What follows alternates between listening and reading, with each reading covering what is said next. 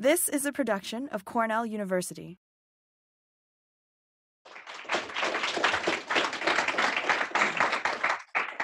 First, thank you all for coming. It's really nice to see such a such a big group here. So I'm really excited to share some work that I started last year. This is all very new, and this is these are really the initial results. There haven't been that many studies done really at all on on the robot. A lot of uh, home testing, but nothing in a larger replicated uh, experiment. So today we'll talk a lot about Tertill, but first I wonder how many of you have robots? Raise your hand and keep your hand raised. Does anybody have a weeding robot? Okay, I have four. I have four over here. I just adopted last year. Okay, keep your hands raised. Does anybody have a drone? Okay, and if Jen Thomas Murphy was here, she she has one. She recorded some of the footage. All right, what about uh, dishwasher? Okay, it's not mobile, but a lot of us have dishwashers and laundry uh, or, and washing machines. So there you go. Everybody has a robot in some sort of fashion, and that's that's the trend: increasing dependence on automation. So first, I want to start with why go away from uh, what, what's already been really useful? Herbicides have been relied on for decades now. They're cheap and they're still the go-to option for, for many growers, especially at large scales. But there are problems with herbicides. You see a figure here of the number of cases of herbicide resistance on the rise, increasing. These are unique cases of herbicide resistance. But there are other issues with herbicides too, uh, off off target impacts. So you have health and environmental concerns, and there are no new herbicide technologies coming out. There hasn't, hasn't been a new mode of action since the 1980s. So we're kind of coming to the, the end of this, this huge uh, resource that is herbicides. So we really need to be thinking about what's next, what's the next step.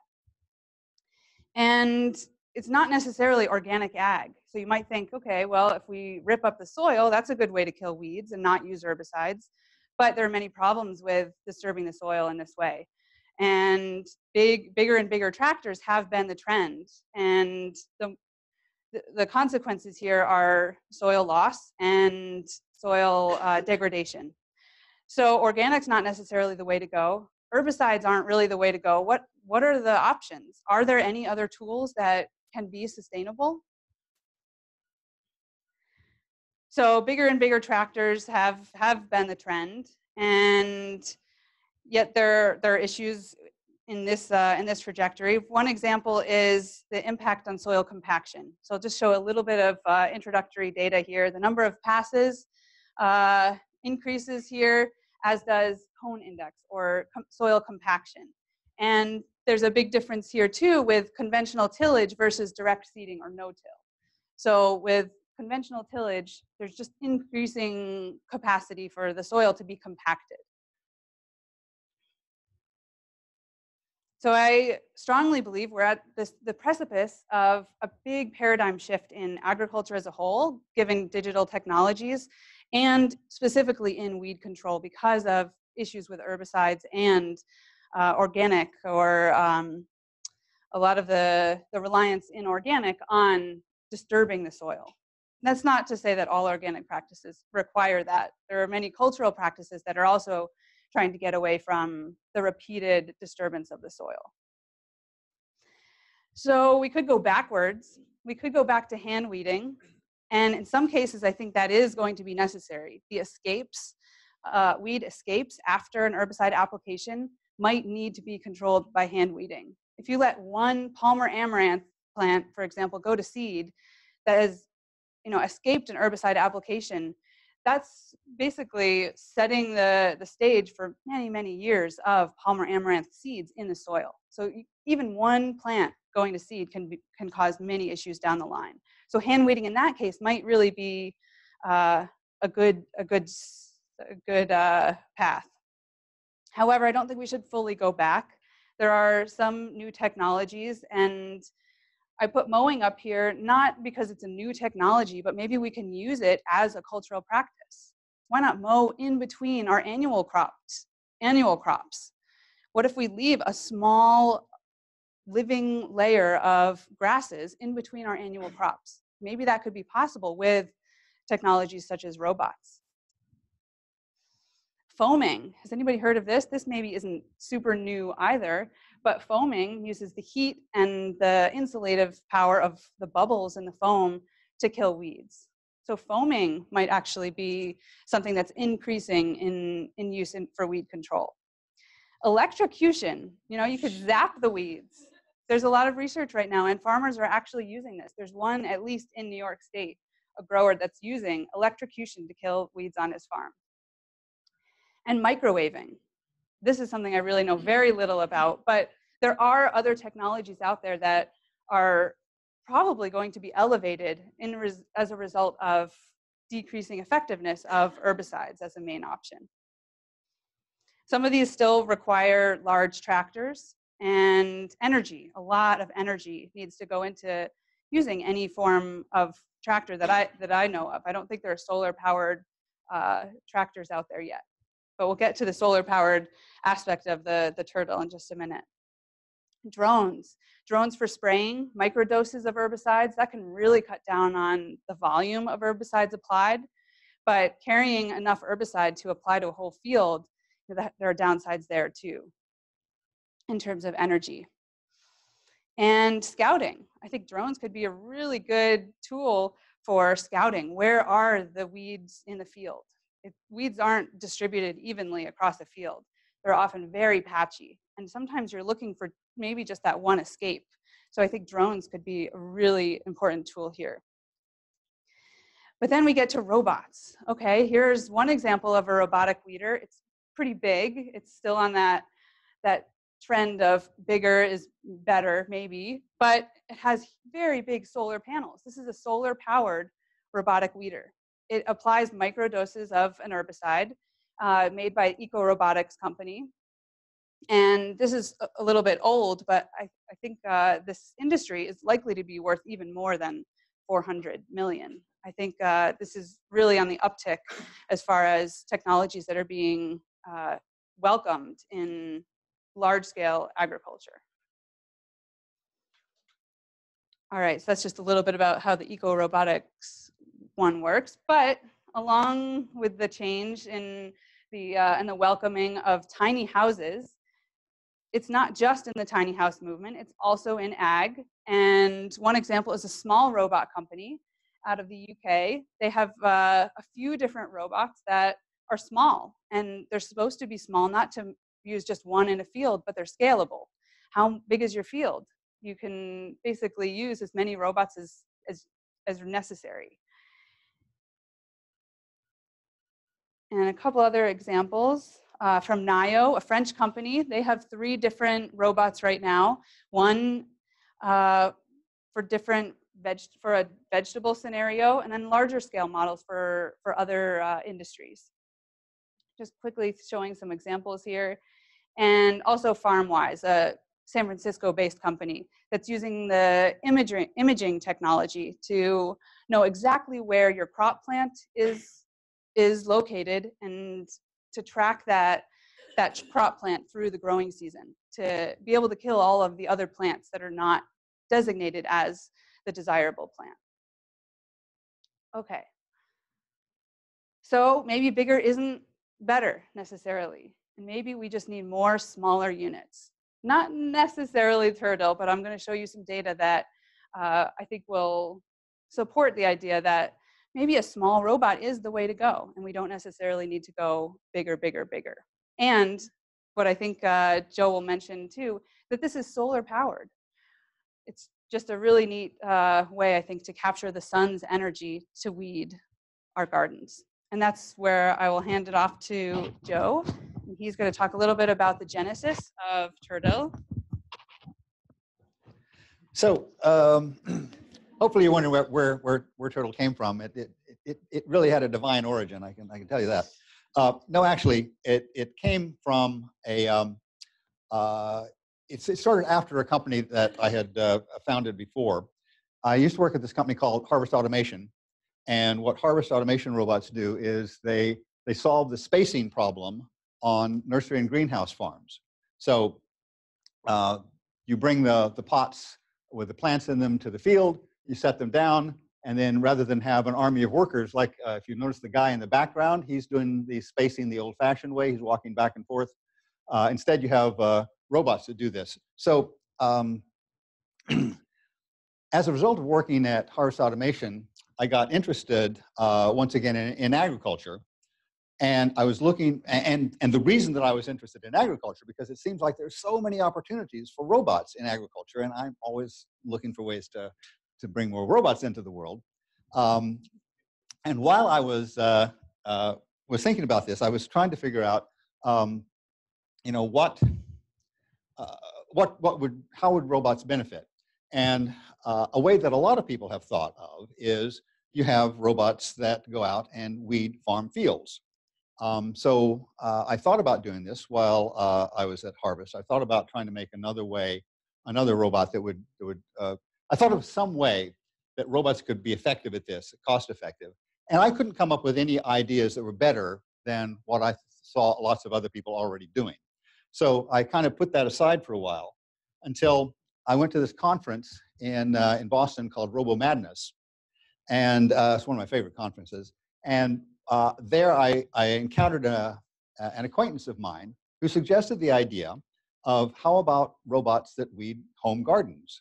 And that actually changes the problem just enough that uh, whereas I couldn't figure out a, a cost-effective way to make a robot that weeded uh, a farm field, I could come up with a way, a cost-effective way of making a robot that weeds a home garden. So um, I left uh, Harvest Automation in June of 2015 and started uh, and sucked in some other folks to work on this with me. And we started uh, building iterations of little robot that would uh, weed uh, uh, a home garden. And we started with, with Lego, which is where lots of robots start. Um, and it went through a bunch of iterations. Actually, we spent about a year um, about a year doing this. And we finally got to a, a form that we thought this will actually work. We can be cost effective. It'll, uh, it'll do the thing that it's supposed to do. Um, so it's time to, to take the next step. And the next step was to uh, do a Kickstarter campaign. So the Kickstarter campaign was, uh, was, was really uh, uh, surprisingly effective. We, uh, um, we ended up being in the in, in terms of money collected for a project, we ended up being in the top one third of 1% of all Kickstarter projects. So we got a whole bunch of folks who signed up on Kickstarter and we kept uh, doing some pre-sales after the Kickstarter and we got to about half a million dollars in, uh, uh, in pledges from that. And then we had to, to ship the robots. So I want you to note, I go from here we are, this, this great promise, um, and then we have to ship the robots to and then we ship the robots. It takes like a second for me to get from one slide to the next. It took over a year to get from the previous slide to this slide. So getting to the place where you can actually build these things, put them in a box, and give them to, to somebody who wants to, to buy one is uh, it's, it's not, not trivial or, or quick. But anyway, this uh, shows how the robot actually works. Um, it's supposed to speak. Uh-oh. well, if it was speaking, what it would tell you that the robot runs around, it finds, uh, and it shows you uh, even better here. The robot runs around, it finds, um, uh, if it notices a weed, it senses the weed, and I'll get a robot. It senses the weed with a weed sensor on the bottom. Uh, there's a little weed whacker behind that. Uh, the, uh, the weed whacker turns on and chops the weed down. when it gets to a plant that you want, it detects the plant with a, a sensor on the front and it turns away from it. Um, and that basically is all that you need to do to, uh, to build a robot that, um, that will weed your garden, plus make it waterproof and not get stuck and, and all of the other things. So uh, it doesn't work absolutely everywhere. The, uh, the picture on the left is actually from one of our Tertill customers who sent this telling us that um, this is the first time in, uh, in 30 years that he had come back from a vacation and found that his garden was not actually choked with weeds because the, the Tertill kept working while, while he was off uh, having fun. Um, but there's the places where it, it, it, would have some trouble is if you just finished rototilling your garden and it looks like this, uh, Tertill won't work in this garden until you have you've raked away the, the ruts and the ridges, and then it'll work fine. But there are some places where it really doesn't work at all, and that is places where the, uh, the slopes are really steep or the, the plants are, are planted so densely that Tertill can't go in between them. So something that we, um, we expected that, the robot again, um, there's a weed whacker on the bottom of the robot, and when we were designing the, um, we were designing the, re, the, the robot, what we thought was, okay, uh, the weed whacker is going to do all the work. It'll cruise along. The weeds have to grow up to a certain height before they can be detected by the weed sensor. But when that happens, it'll turn on the whacker and it'll cut the weed. So what we expected to see in our company garden was we expected to see a lot of little green stumps where the robot had cut the weeds down. But instead, what we saw was that we just didn't come up. And uh, our hypothesis was that, and still is, that basically what's happening, the fact that the wheels, uh, and perhaps with some help from the whacker, are churning just the, the, surface of the soil a little bit.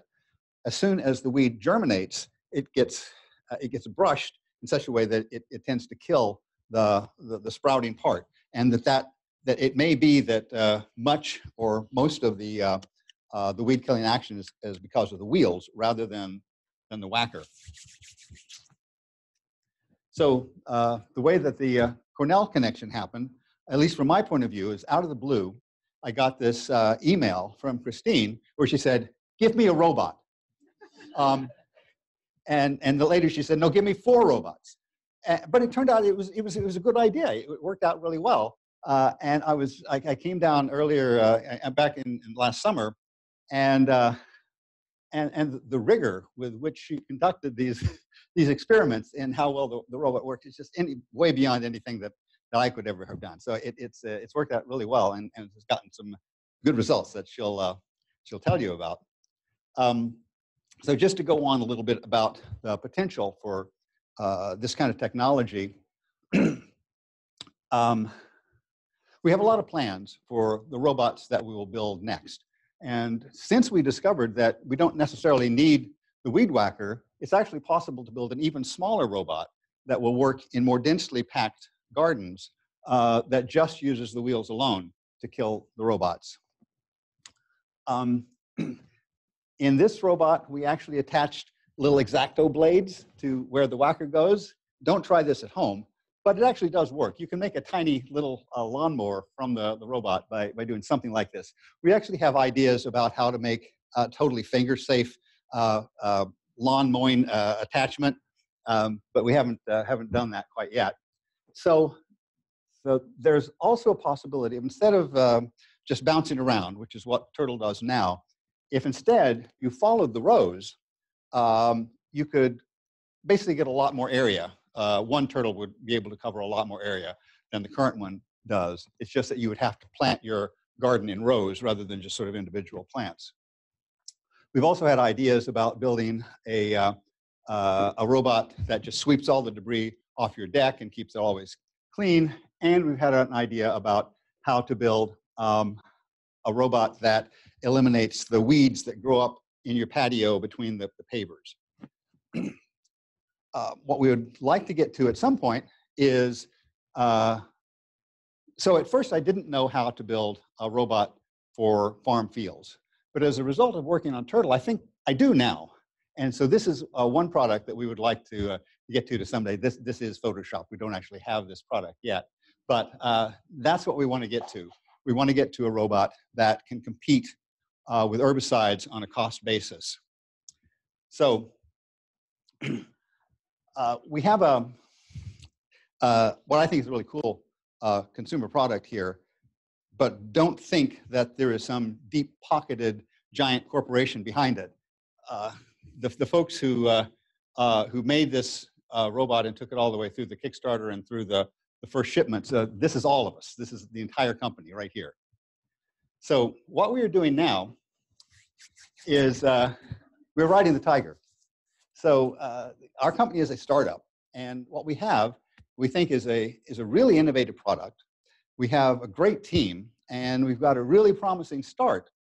Um, and to fulfill that, that promise, what we are doing now is we are raising funds and we're talking to, to VCs and such like. Um,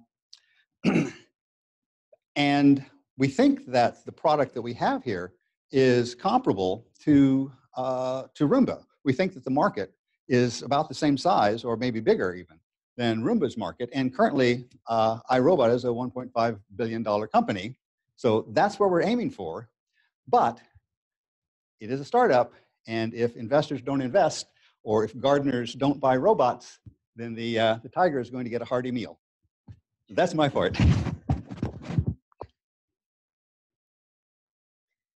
Joe is right. I did email him pretty much out of the blue. And this was really because I was interested in incorporating more digital ag into the weeds course that I've been teaching. And so I was doing some research and, and it came up pretty quickly, the, the weeding robot.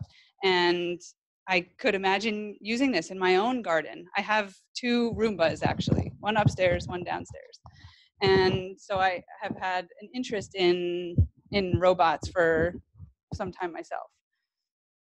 And so the first robot I got was just one. I only got one the first time. And I did a really small trial up at Caldwell Field just to see would this work on, you know, a, a typical soil that we have on campus. And I set up the experiment just with the little guards that come included with with the product.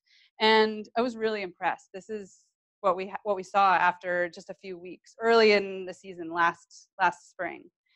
So I I asked uh, Joe if he would send me three more, and and he did. And I thought that was kind of the minimum that we would need four to run an experiment. So with a lot of help from Farm Services and Matt Ryan, and I'll list all, everybody who helped. Uh, we came up with this in, this experiment, and not just a small little one plot, but we use area in the crop garden and in Field L up at Caldwell Field also. And to begin, in this one field, we were going from sod or an old hay field, pretty much. So this is an established community, and so we expected a lot of weed pressure. We expected a lot in the seed bank, but we also wanted to overseed just to make sure there, there were going to be enough seeds to really evaluate the effectiveness. So this is our intern last summer from Columbia.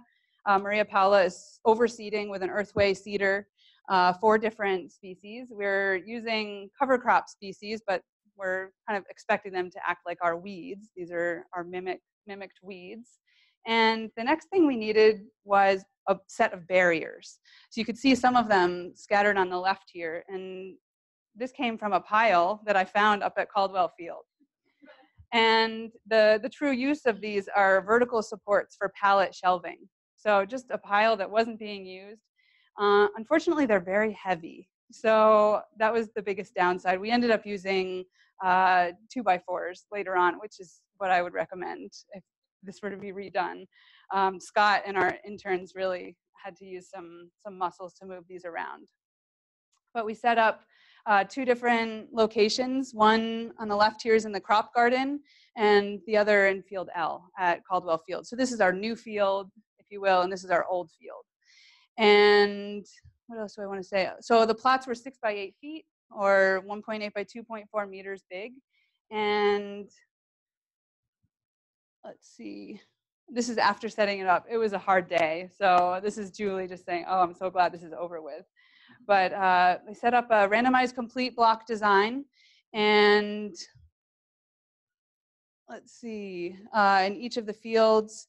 So these are our four treatments, Tertill with the trimmer, Tertill without the trimmer, and then two controls, a weedy control and then a hand weeded control, hand weeded by me.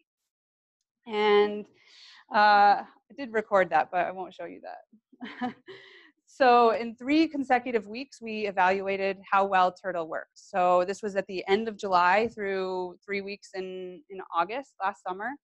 And uh, there it is. So we alternated the robots uh, from blocks one and three in um, mornings and blocks two and four in the afternoon. So those were set.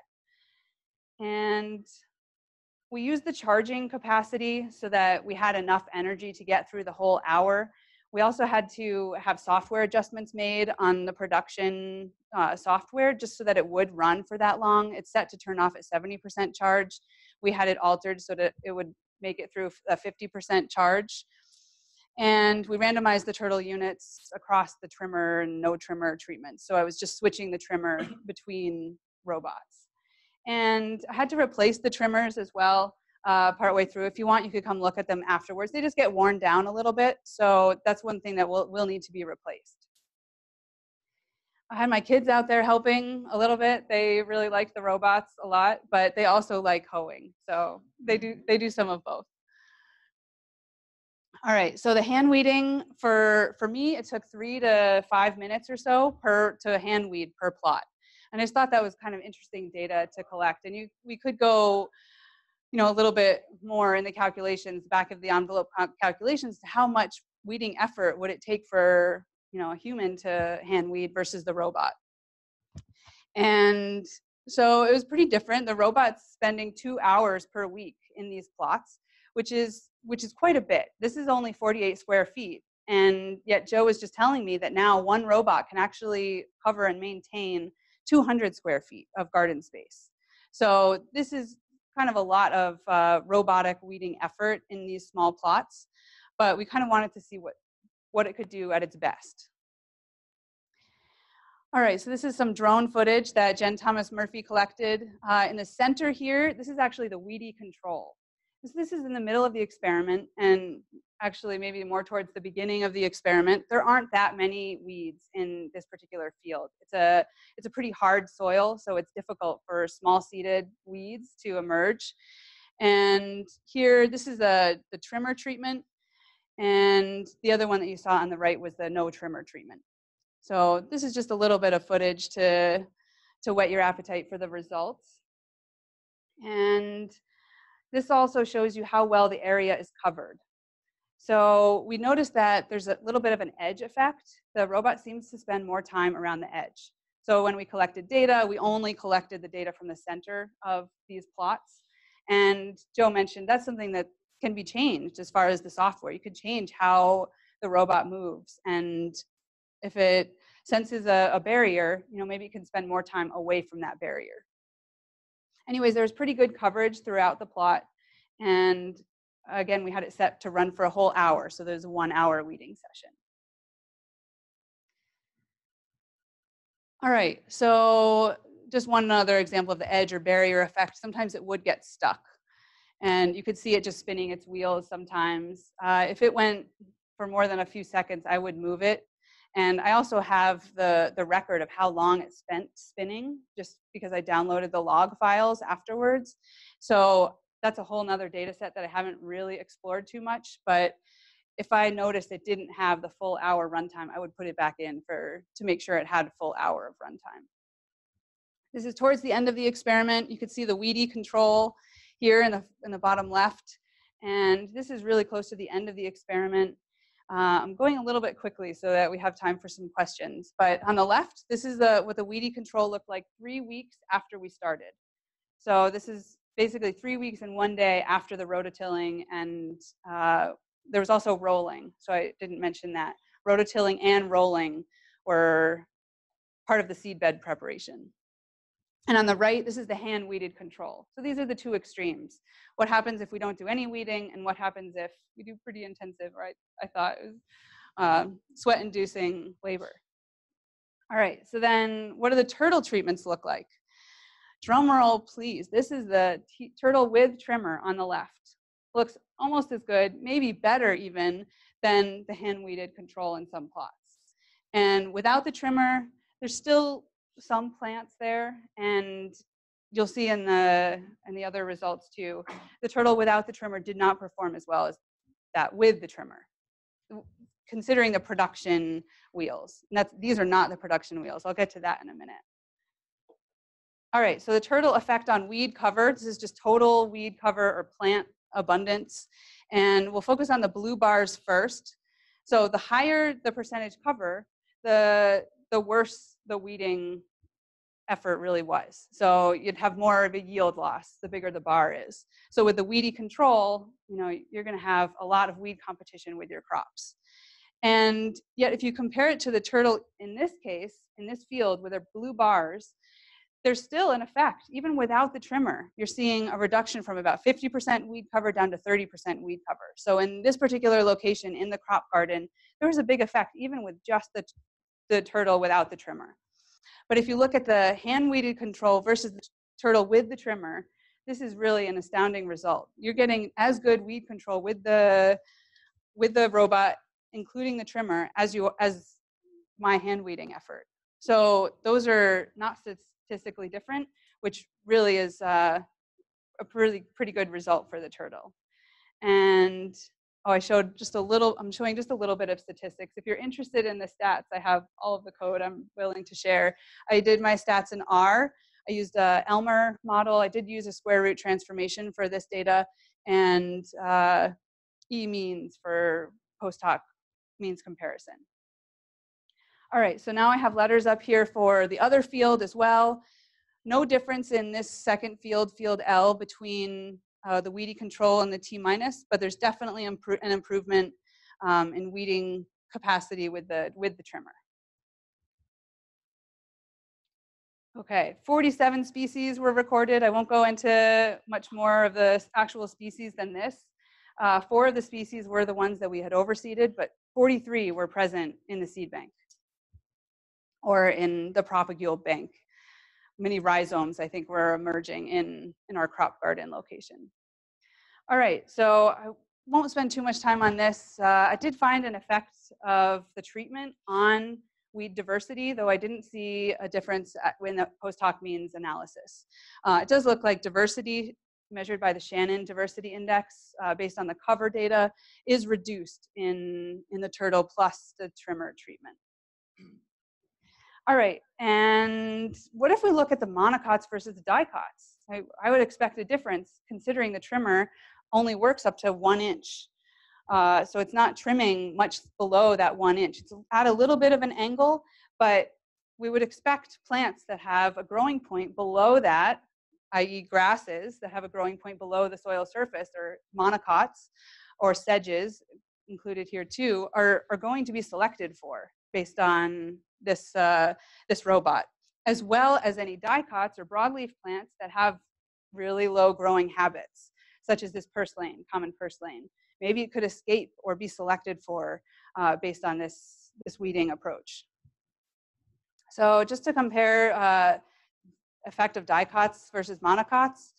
Um, you'll see here first, if you're just looking at dicots, you're getting an effect just with the, the wheels. The wheels are, are doing a fairly good job at reducing the abundance of your broadleaf weed species. And the same is not necessarily true for the monocots. So basically the, the conclusion here briefly is that Tertill is more effective on broadleaf weeds than on grasses which we, we kind of expected. And maybe it's not surprising either that mo most of the herbicide resistant weeds are grasses. So this I think is a really good time to start thinking about which weeds will be selected for and really anticipate which weeds could be resistant to uh, this kind of machine and to try to be thinking ahead and not run into the same issue that we've run into with herbicides. Uh, just a couple of the observations uh, we found that if even a little bit of moisture was there on the soil surface, this is after dew. It was a completely dry, clear day, but there was dew on the soil surface, and it really attaches to the wheels and gets stuck on. Joe has observed that this will fall off as the soil dries out in the morning hours, but we would run our trials at 9 in the morning, so it wasn't that early in the morning. And also, some of them would develop this cone shape. And I have uh, an example of what a cone-shaped wheel might look like. And so it's interesting that that's the shape the soil would uh, um, take on as it builds on the wheels. Okay, what did we do when it was raining? I, I was taking the advice of the, the developer to use it even if it's raining. So I did that on a couple of occasions and it really didn't go so well. So this is what happened. You could kind of see it's just stuck in the mud. Just like anything would get stuck in the mud. If you're moving around, your foot could get stuck in the mud, you know? And farmers aren't going to operate their their equipment, their tillage equipment, they shouldn't be if it's really wet. So there's been consideration to make a, a mud sensor of, of sorts so that it doesn't operate when it's really muddy. You could see the, the leftover footprint of that, um, that kind of event. So I didn't continue to do that throughout the trial. That happened once, and if it was raining, I would just delay the trial till it was dry enough. All right, so Tertill effect on weed cover measured by my smartphone. So the other data were based on Scott and I looking at each species and estimating ocularly the percent cover. This data is based on putting out my, my smartphone, taking a picture of the plot using Canopeo. So Canopeo is just a really simple app to estimate the, the ground cover. And I apologize, these are not in the same order uh, on the x-axis, but basically the same result. Weedy control is not that much different than the Tertill without the trimmer, but hand weeded control is uh, pretty similar to what we were seeing with the T plus. And that was in August. I went back a month later. I was really curious just to see what happened a month later after we stopped, after we stopped the trials. No difference across uh, the treatments. In the crop garden, I was astounded to see that there was still a difference. There was an effect of the Tertill with the trimmer treatment a month later. And that was the only one that was significantly different from, from the other treatments. So there was a long-term effect, which I really didn't anticipate at all. And it would be interesting to, to look at that further. All right, I'm not the only one looking at Tertill in kind of a, a an experimental way. Uh, Eric Gallandt and some of his students up at the University of Maine have done a little bit of work. I have the website here, but they were looking at mustard seeded in, uh, in a greenhouse and they saw pretty good results. And they were looking at dry and moist conditions. So that kind of uh, is a signal that the robot will work differently depending on the soil conditions, the soil moisture, and soil type, I think is gonna make a big difference. But even without the trimmer, they were seeing some, some promising results. So that led us to think more about the wheel design. These are two white wheels that were 3D printed by Joe. He sent them to us. And that really got me thinking, how could, how could we design some new wheels. Well, it turns out the 3D printers on campus allow us to print new wheels. So I had my students design wheels this past semester in the fall, and these were their, their handwritten ideas, but they then designed the wheels uh, in Mann Library in the makerspace and printed them. So I have the, these wheels up here that they printed, the students designed in the class as a class project. And so Chris uh, Sitko and Josh Fontaine, I think they just left, uh, designed these, and he, he, was my TA in the fall. So he designed this this bench um, arena, and so we we tested the wheels in the greenhouse, and you could see you, even the production wheels were getting a lot of soil stuck to them, but especially the wheels the students designed. I think because of the material. So the material of the wheel is really important. Some materials are going to shed soil a lot better than than others uh, we cleaned off this one star wheel just so you could see a little bit of what it looked like. But the students got creative. They had sometimes different wheels in the front versus the back. And that's this is the robot uh, I have right here. The big wheels didn't fit in the uh, in the front of the robot, so we have some production wheels on there. But I think it was a really good project. They got to use a 3D printer and really think through how can we disturb the soil just at the surface, akin to skim plowing, to have the same effect as what Joe had been observing and, and also at University of Maine. Just the wheels are doing some of the weeding here. So we had a fun time doing that and I plan to do it again in my class. So we did end up using the, the robots in, in my course and in addition we got some, some neat data. So with that, we just kind of go over the highlights here. Uh, the Tertill with the trimmer achieved weeding as good as hand weeding. So that's really uh, a great result. I think that's more than what Joe would be hoping for. And without the trimmer, reduced weed cover in one field but not the other. So there's definitely an effect of soil and plant community. Uh, we're looking at Tertill being more effective on broadleaf species or dicots versus monocots. And that's something that just needs to be taken into account.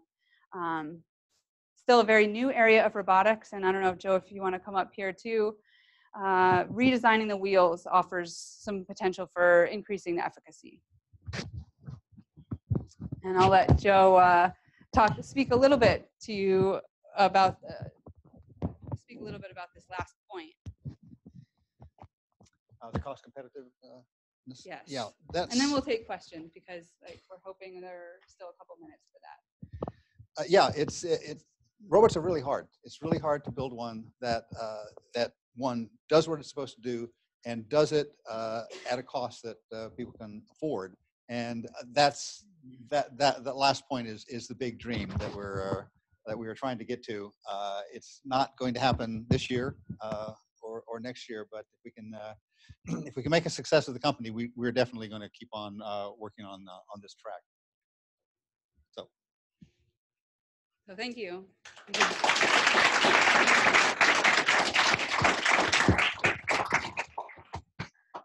Why don't we open it up to questions? Um, if you want to get some money, you can send it over to Joe and in the company.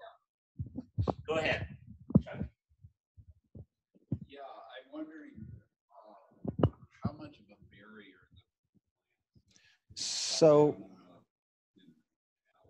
Yeah, so, so a couple of points there on the, on the issue of the hose. um, The, what we intend to do is to make the Tertill able to climb uh, typical irrigation hoses of like, you know, half an inch or something. Um, Some of our customers had trouble with that uh, initially, and what we advised them to do is to dig a little trench so that the hose could be down in it. Um, The, the robot is pretty good about, um, uh, it's pretty good at mobility basically we spent a year, uh, the first year, trying to improve its mobility and and and, and make it work well. Um, you can build a structure in uh, in your garden that the Tertill can't get over. It can climb any um, a slope of about 20 degrees. Beyond that, it turns away because it doesn't want to tumble, tumble over. Um, so we do recommend that uh, it sort of be rake smooth. You rake the garden and it's smooth enough uh, the Tertill could work uh, in, in a place like that. Oh, they are in the market. Yes, you can buy one today. Uh, they're three hundred and fifty dollars. How, big do my maize plants need to be before I put that thing in? So the uh, basically the way it works is um, there's a uh, Tertill discriminates between uh, uh, crops and weeds based on height. So if the if it's taller than about uh, if, if rather if you're if the plant is shorter than about this, uh, it thinks that it's uh, a weed and it'll cut it down. If it's about three inches or so tall, two or three inches tall, it thinks that it's a crop and it'll turn away from it. So it would work really well with transplants. If you have a transplanted garden, that kind of protects your your crop plants. Yeah. You also mitigate that by putting a flag or something with So what the robot comes with are these things that we call plant guides, and they look like tiny little tomato cages. So if you have a seedling, you put the, the plant guide around it, and then when the uh, uh, and Tertill will leave it alone. When it grows up as tall as the the, the barrier on the, uh, the the plant guide, then you can take it away if you want to, and it'll it'll uh, also be good. Uh, first one is, uh, do you use any imaging for identifying? It's just based on height. Completely high. So it can even cut down the crop. any- any crop. Right. If your crop is less than one inch tall, it'll cut it down. I mean, basically, it, it is random, and there it, it's random is bad in that you don't know exactly where it's going to go at any one time. But it's good in the same way that you know, uh, if you put um, a, a gas into a bottle, eventually the gas will occupy all parts of the bottle, right? Even if it starts at one end. And if you let the Tertill run long enough in a garden, eventually it will cover all parts of the garden equally. At least that's the aim. So if you make it to a pattern, does it it definitely reduces the pattern. So you, you can't really make a, since it doesn't know where it is, it can't create, a, uh, it can't follow a pattern. Uh, it, it- only can follow a pattern based on dead reckoning, right? It, it moves forward and it figures out where it's been by integrating uh, its motions. But that there's so much, uh, as they say, that uh, the error grows without bound. So it doesn't know where it is after it has wandered around a, a- a while. We've actually had uh, some discussions with folks uh, running landscape companies who, as a part of their service, weed home gardens. and apparently their their their people don't like the weeding of the garden, so they're uh, they're considering just installing a, a robot in their in their client site. Yeah, we, we are in discussions with uh, with such folks. You mentioned material of the wheels What are the production wheels made of and what are other options? So these, uh, the, the wheels on the uh, current robot are made out of ABS plastic, which is a simple, uh, you know, it's, cheap plastic. Uh, they also have uh, a UV inhibitor in it. Otherwise, it- has to stand, it has to live in the outdoors, exposed to the sun. So it needs the UV inhibitor to, to not disintegrate over time. Uh, but there are other options that we really like to explore, like uh, Teflon or Delrin, or maybe even metal for the weed uh, for the wheels would uh, would be a better material for not uh, accumulating mud. And that just reminded me, Joe has told me that the product will probably last three to five years. So that's pretty, pretty neat. It's not going to be just a one year thing. Well, the first thing that we have to do is uh, make the robots work at, at a, an affordable price. Um, if we can uh, impact the uh, the e-waste issue by making them live longer, that that's a good thing. Uh, I know that uh, there's a lot of interest in, in in that sort of thing at our company. We haven't been able to to do a lot of uh, real steps yet, but uh, we'll work on that.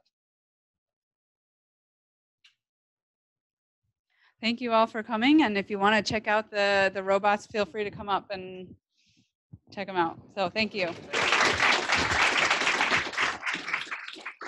This has been a production of Cornell University on the web at cornell.edu.